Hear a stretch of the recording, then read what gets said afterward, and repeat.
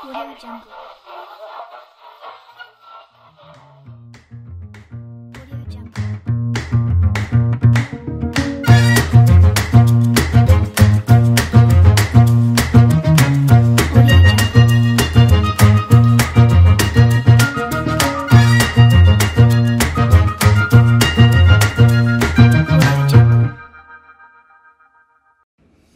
Các bạn đã biết thông tin gì chưa? Đăng ký ngay khóa học 10 ngày, chạy văn cùng với chị Hiên để được tổng ôn về tất cả kiến thức văn trước khi bắt đầu kỳ thi Trung học phổ thông quốc gia. Đây chắc chắn sẽ là bước chạy nước rút cuối cùng để giúp cho các bạn đạt được điểm 8 cộng môn văn đấy. Nhắn tin cho các anh chị admin fanpage học văn chị Hiên ngay nhé. Còn bây giờ thì cùng nghe audio với chị thôi.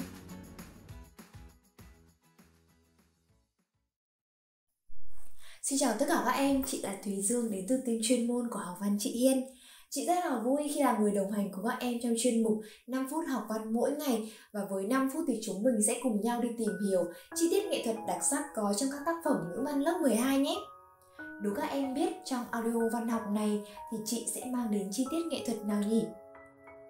Để có được câu trả lời, ngay bây giờ hãy cùng chị lắng nghe nhé.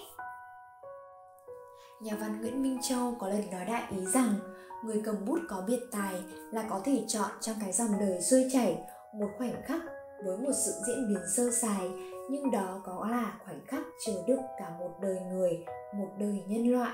Đúng như vậy, trong cái dòng đời xuôi chảy ấy, các nhà văn sẽ tìm được một khoảnh khắc, một điểm sáng nghệ thuật có ý nghĩa làm nổi bật tính cách nhân vật và góp phần quan trọng trong việc thể hiện chủ đề tư tưởng của tác phẩm.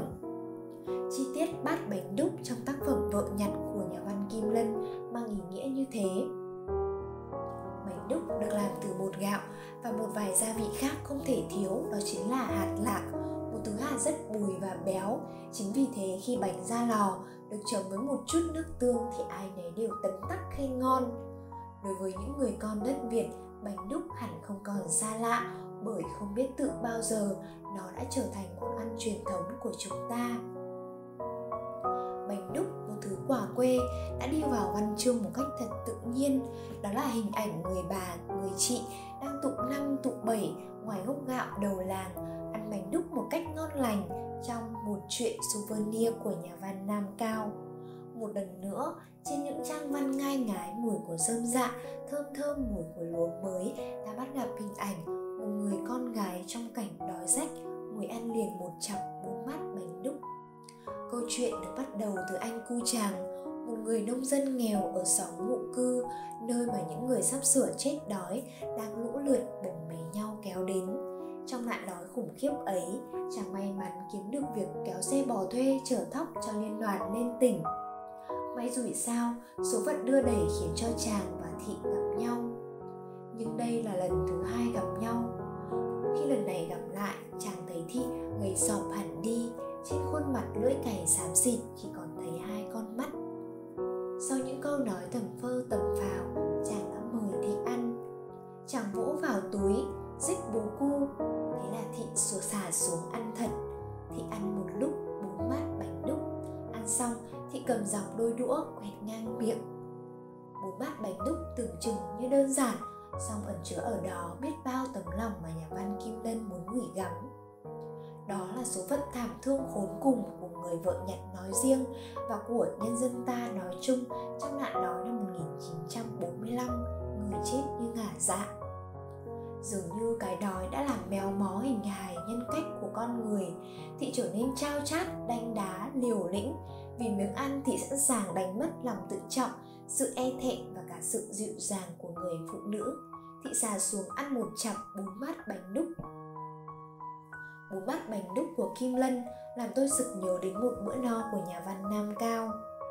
Bà của cái đĩ được đãi một bữa ăn, một bữa ăn no nhất trần đời, một bữa no tới chết. Cái đói khiến con người ta thảm thương hơn bao giờ hết. Nếu như người bà trong một bữa no vì miếng ăn mà chết, còn thị vì miếng ăn để sống, một lòng ham sống mãnh liệt, một khát khao chính đáng của con người. Không những thế, bốn bát bánh đúc ấy còn là tấm lòng hào hiệp tình nghĩa của anh cu chàng. Thử hỏi trong cảnh đói khát ấy một hạt gạo còn quý huống chi tận bốn bát bánh đúc. Vậy mà anh cu chàng vẫn hào hiệp, đãi người phụ nữ xa lạ chẳng thân quen. Và từ miếng ăn ấy họ đã nên vợ thành chồng một bát bánh đúc trở thành tín vật đình ước của hai con người nghèo khó. Dường như khi con người bị dồn đến tận cùng của khổ đau, thì tình người lại càng ấm áp. Đúng thật vậy, đói, nó vừa đắng cay, vừa đớn đau, đồng thời một mặt nào đó lại lóe lên những tia sáng về đạo đức và danh dự. Chi tiết dù bé nhỏ, nhưng đều mang trong mình sức chứa lớn về tư tưởng và cảm xúc bốn mắt bánh đúc cho ta thấy hiện thực về nạn đói. Con người coi như cọng rơm cái rác, giá trị của con người trở nên rẻ mạt. Để từ đó vang lên tiếng nói tố cáo, lên án những chính sách tàn bạo của thực dân pháp và phát xít nhật, chính họ đã đẩy nhân dân ta vào cảnh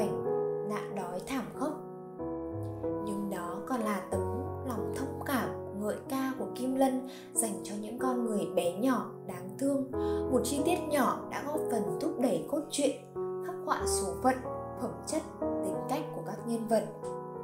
Chi tiết chính là bước đệm vững chắc tạo cho sự thành công của tác phẩm, tạo tên tuổi của nhà văn. Vậy là 5 phút học văn của chúng mình đến đây là hết rồi. Chị mong rằng với 5 phút học văn thì các em sẽ học được rất là nhiều những cái điều bổ ích và lý thú.